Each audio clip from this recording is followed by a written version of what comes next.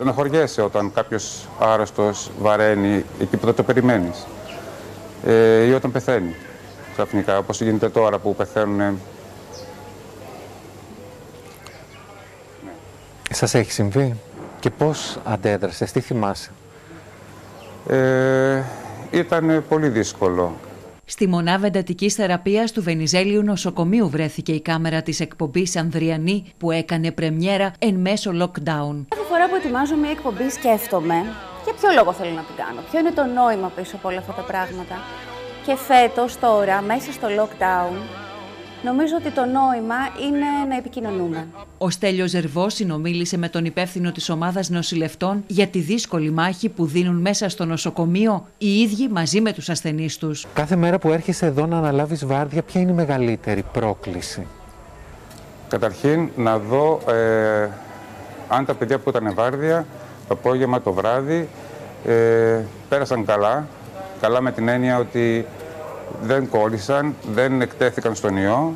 Οι άρρωστοι είναι ασφαλείς. Την ώρα που γιατροί και νοσηλευτές αντιμετωπίζουν μια δύσκολη καθημερινότητα, ο διευθυντής της ΜΕΦ του Βενιζελίου μίλησε για τις αστοχίες στη διαχείριση της πανδημίας. Πέσε το βάρος όλο στα μεγάλα νοσοκομεία και μάλιστα στην πρώτη φάση της πανδημίας είχαμε τα νοσοκομεία αναφοράς, άρα σειραίανε ναι. οι, οι ασθενείς εκεί. Ε,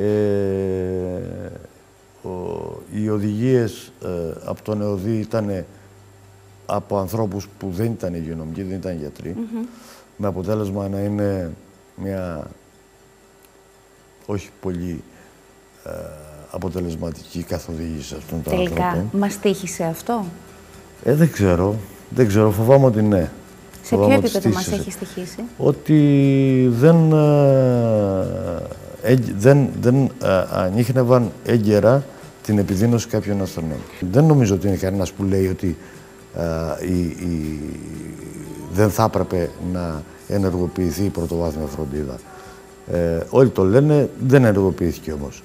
Ε, έπρεπε να αυξήσουμε την χωρητικότητα των εντατικών και να προσλάβουμε γιατρούς και νοσηλευτές.